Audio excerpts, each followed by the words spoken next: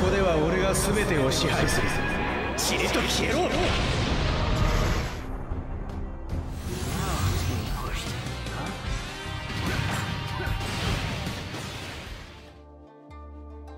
Hey everybody, Bam Collectibles here, and we are back for another statue unboxing review, none other than Cartoon World's Shisui Uchiha. I've been super excited not only to add this to my collection, but to showcase this for all the world to see. Staring at you in the center of the base is Shisui's Mangekyo Sharingan, also that gorgeous green trim that goes all throughout. A little bit of damage on the black portion of the left and right side of the base. I can clean that up with a bit of black paint. Dead center, you'll find the Uchiha stone tablet there, and then also a bunch of flames are going to be riddled all throughout, which kind of look like Amaterasu flames, but also could just be regular chakra particle effects that are floating up throughout the ground. This statue has so many particle effects and extra different diorama pieces that they sculpted separately. We'll take a look at this thing from a top view and you'll see there's a notch here on the tablet. There's a few over here to the right, one there, there, and just all throughout we're gonna be sculpting a bunch of different pieces and adding them on separately, which is kind of the thing that Cartoon World does, right? They have such an elaborate base that they created here that it'll take a bunch of pieces to come together and make it happen.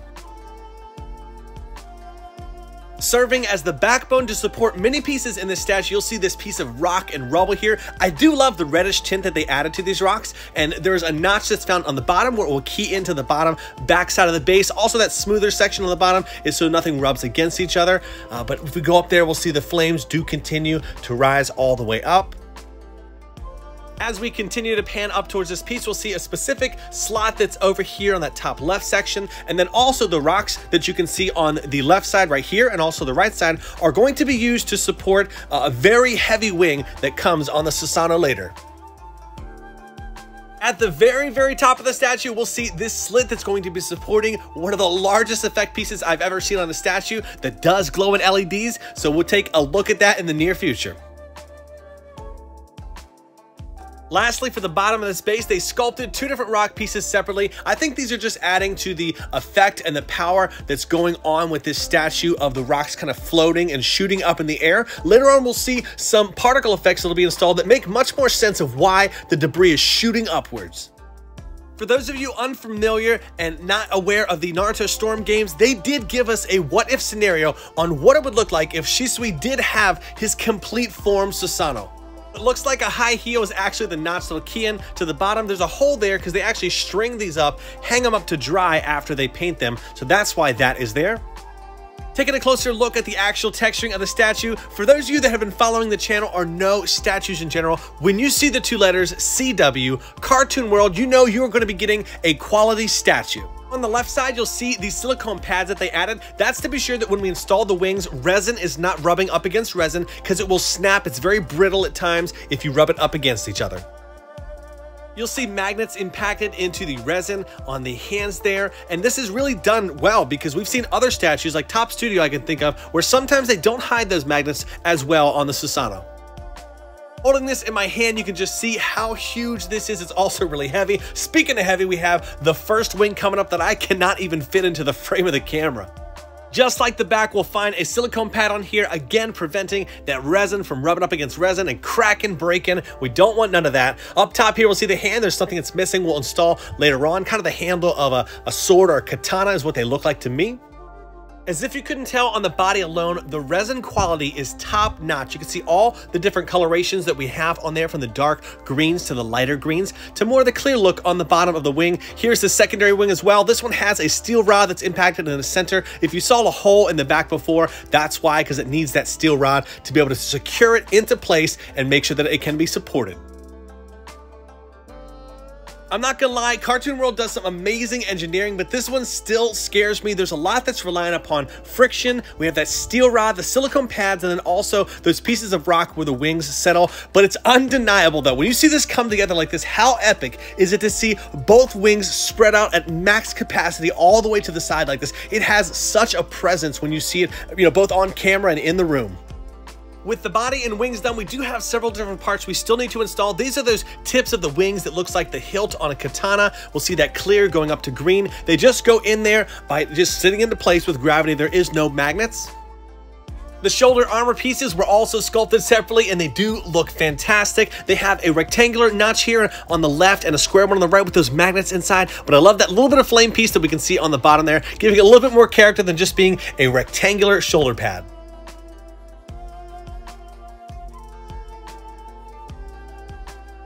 Up next, we have the Susanoo head, which I think was actually sculpted proportionately for the size of the statue. Sometimes they can run a little bit too small or a little bit too big, but being the size and scale of this statue, I think they hit it spot on. We have that Tengu looking nose on the front, the yellow colored eyes, a magnet with a notch in the bottom is how it's going to attach to the back, and also the hair sculpting on this was very well done. Looks a little crooked, so we'll shift that over right there.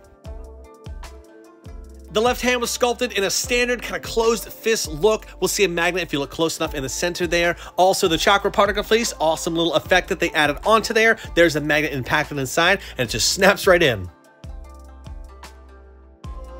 If you are familiar with his Susanoo in the Storm 4 games, you'll know that his right hand is going to be wielding a pretty intense looking weapon. This is going to be the handle that's sculpted onto the fist already all together that's going to be kind of using as a, a balancing factor in that weapon.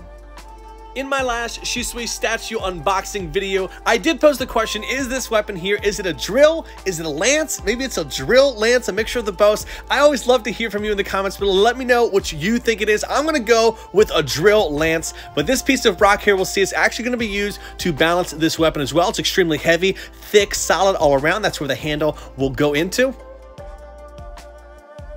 When I look at this up close, you know what actually reminds me of the drill looking weapon that Kimimaro used against Gaara as well. It is a little tricky to get into place because you have to lift up the arm, fit it into place, and put them both back in there, but they do support each other so well and hold it up. And it is that time we're going to crack open two packs of the Naruto CCG cards. Everyone's always asking me, you know, where I pick these up at. They are extremely hard to find these days. That and they're also kind of expensive. So, you know, I'm going to continue to do them though. I have a nice little stockpile and I love opening these up on the channel and letting everybody see them and just kind of be aware. Oh, dude, look at this. this awesome freaking kid third Hokage or Hiruzen. And then we have Kid Minato as well. They look so cool. See, this is one of the reasons why I love opening up some Naruto CCG cards because you get to see, oh, dude, look at this. That is incredible. So that's only our rare for the pack. It's not a super rare, but that looks amazing. You got a purple border with Jiraiya and Naruto. Uh, but anyway, what I was saying, one of the reasons why I love opening these packs is you get to see art or art forms of some of the characters in the show that we really didn't get to see. Like, you know, I didn't get to see, you know, Kid Hiruzen much or Minato. So really cool to get to see those. Kiba looking pretty old. There's Kabuto is our reverse foil for the pack. Kid Kakashi, which has to be one of the coolest outfits. I can't wait to showcase the statue of both him, Rin, Obito, and Minato all together. Uh, but I also am going to need kind of your advice if you could let me know. Which card do you think I should pick up? These are custom Naruto cards. Should I pick up the left or the right one as far as displaying it next to this statue? Here is that giant effect piece I mentioned before. It is a moon with a Kotoamatsukami on the front section of it. We have on the bottom that notch that goes towards the top of that rocky section. Behind the Susanoo, this is where the battery pack is to illuminate this, and it looks incredible overall, right? The oranges and the yellows, we have the glossy effect look to it. And then on that top right portion of this also, we'll see a specific notch is in there. Uh, and later on, it's just a small crow is going to be installed on there, which will be a nice little touch to it. But it just slides slides right into place on the back. First, we'll go ahead and show you the battery pack here. There's a little lever that turns things on and off, and it runs by three triple A's. I don't know about your experience, but I hate batteries. They can leak acid. You have to replace them over time. It's something you have to manage. So I've shown this in some of my previous videos before, but I want to show this to you again. I'm gonna take these out and I actually purchased something that I would call electric batteries. Yep, electric batteries that get plugged into the wall and we'll take a look at these all together and see how I get them installed. I also have links in the description below that lead to my Amazon or the Bamazon affiliate link store where you could find these these on there if you want to pick some up for yourself. First off, we have the AC adapter, which is going to be supplying the main power to the unit. And this, this is also the main battery that gets plugged into that AC adapter with this wire that you see here. It's just going to go into one of these slots. It shouldn't matter which one you do put it into. And then also included are going to be some of these, I don't know what to call them exactly, but I'm just going to call them proxy batteries. Depending upon how many batteries you need, you just select the ones that you do. For this, of course, I said there's only three, so I'll grab these extra two and store the other ones away.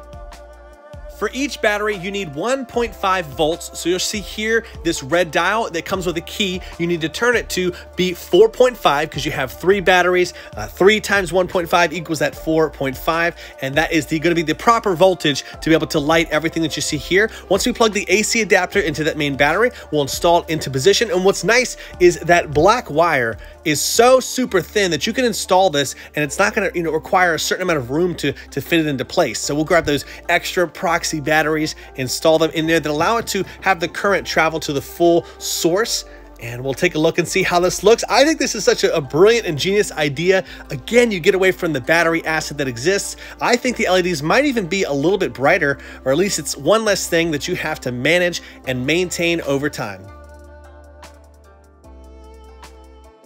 Again, because of that thin black wire, we can still slide this into place and it doesn't interfere or get in the way of anything. You know, I also wondered, is it going to get in the way of this being able to magnetize this piece on the back here? But again, just slides right into place. You can put the wire in the direction you want it to hang afterwards. I want it to go straight down, right? So it runs along the back side of the statue and I don't see a thing. And it has enough length to where it's no issue to plug this into the wall. I will share it as well. I'm to be plugging this into one of my wireless remotes that I use. People have asked about these before. So I'll plug it into the wall and this is to be into channel section, I think four on the remote. So once that's plugged in, we'll put the AC adapter in the wall, just press this button and boom, turns right on. Super easy, super convenient. You can have your statues all powered uh, just like this if you want to. Again, check out those links if you need it. The crow I mentioned is kind of the icing or the sprinkles on the icing of the cake here. Uh, I think that they also could have maybe added the Mangekyo Sharingan eye onto the crow. That might have been a cool touch, but this is just an extra crow, goes in the top, adds onto the details of the base inspired from the special or ultimate move that Shisui used in the Storm 4 game, we have these eruption-looking particle effects that are going to be shooting off the bottom of the ground. They are keyed into place uh, via a certain notch, and also some of them have a steel wire, some of them have magnets, and we have that rocky debris that was sculpted on there and painted as well. We'll take a look at some other parts, not all of them, because there's quite a few on the statue. This one right here has a hole, and there is a specific reason why. There's going to be something that's keyed into it later that's very important, and then this is is the one that goes up towards the top section of the moon, that little tiny slit that went into the rock that we saw earlier.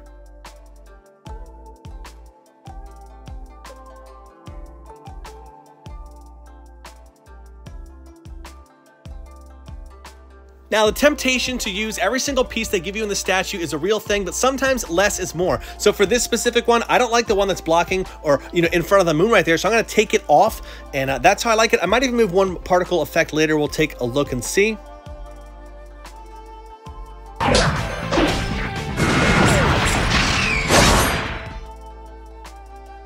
Shisui is a master of the body flicker technique where he can move extremely fast, so fast to the point where it leaves like after images in his place. It's crazy how they sculpted these to reflect that ability. We'll see kind of like the transparent looking resin, and then there's also more of the painted sections. Honestly, I am blown away how they even accomplished this. We have a notch at the bottom that's going to be going into the one of those rocks we showed earlier with a, a hole that had it inside there. And here is the hand. This section is gripped to hold one of his swords or the short sword that he has which I will say is made of actual metal. I love it when they do that. So it has a, more of a durability to it, so I don't have to worry about it breaking or snapping on, but slides into place. Gravity holds it in there with friction, but really cool additions that they had sculpted onto here if you want this option. So they have one that's gonna be on the right that goes into that rock, and then we have another version on the left that's kind of a mirrored image of that in all my unboxing and statue time, I've never seen anything sculpted like this before, so really cool execution of how this ability works.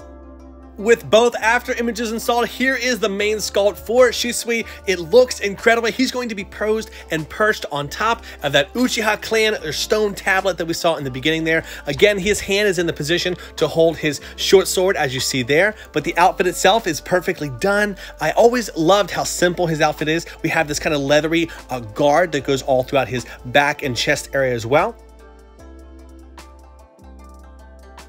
The sword is the same as the other, so die-cast metal was done for that. The head sculpt on him, I think, was perfectly done. You can always let me know in the comments below if you disagree with that, but you know, not really too much emotion going on here, which I'm perfectly fine with. And they had the actual Sharingan or Mangekyo Sharingan sculpted or paint stickered on there nicely. I have to remove that one effect piece in the front to get him into place.